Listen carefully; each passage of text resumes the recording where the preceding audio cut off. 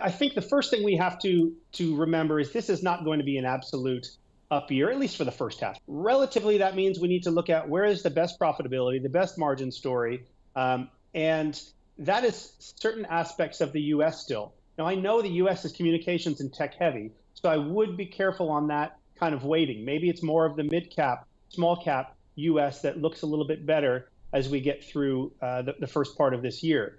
Um, in the sector space, it is not clear growth versus value here either. There are areas of growth like healthcare, like the defensive side of some consumer staples that can maintain their margins that continue to look okay. Um, and there are commodity story as inflation rises and China reopens that I think continue to look okay as well.